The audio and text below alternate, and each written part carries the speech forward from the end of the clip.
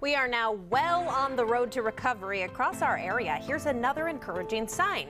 A ribbon cutting at SEPTA's 5th Street station and the end of capacity limits on trains, trolleys, and buses. Jeff Cole is live at the station. And Jeff, all of this is a positive sign, but SEPTA is still feeling the effects of the pandemic. Oh, they certainly are. Listen, before the pandemic, SEPTA would have about a million riders across all its platforms. Now it has about 400,000. That's money. It takes a lot of money to run a transportation authority. It's why, in part, SEPTA will be relying on federal aid for years to come. Near City Hall, it was bus after SEPTA bus pulling up with passengers on board, but certainly not the standing room only crowd of pre pandemic days. Just how Robin Hunter likes it. Anybody, anytime can ride SEPTA. What do you think? I'm not ready for that. No. How come? I liked it better when it was less people. I'm not ready to, for another full bus. But SEPTA is. And today it dropped all COVID capacity limits, opening its trains, trolleys, buses, and subways to anyone who pays the fare. SEPTA is ready to play a major part in bringing our city back, and we're ready to welcome riders back.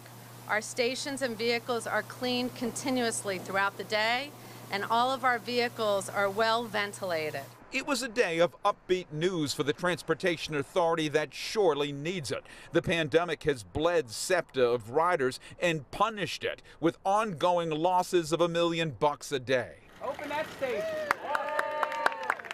Believing its toughest days are in the past, SEPTA cut the ribbon Tuesday on a $20 million renovation of its 5th Street station in the heart of the city's historic district. Included in the work, art tying the area's history to its diversity. We know that people are coming back to work uh, in office buildings. We need that back because we need people to go out and eat lunch and shop and do the things that they're used to doing when they're back in their offices. SEPTA says ridership on its buses, trolleys, and subways is at 40%, while only 20% of its regional rail riders are back.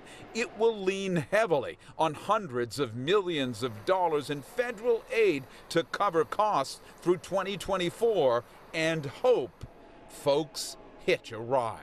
The bus is a lot fuller than it was like a month ago, but people are still not sitting right next to each other. But I had to stand as opposed to last month where I didn't.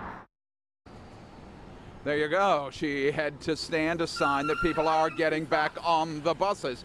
Also, SEPTA's revenue is in part due to tourists that work through this region in Old City. And as we stand here tonight, certainly we are seeing tourists. Not the numbers that we've seen in the past, but some tourists back in the region. Live here in Old City, Jeff Cole, Fox 29 News, folks. That's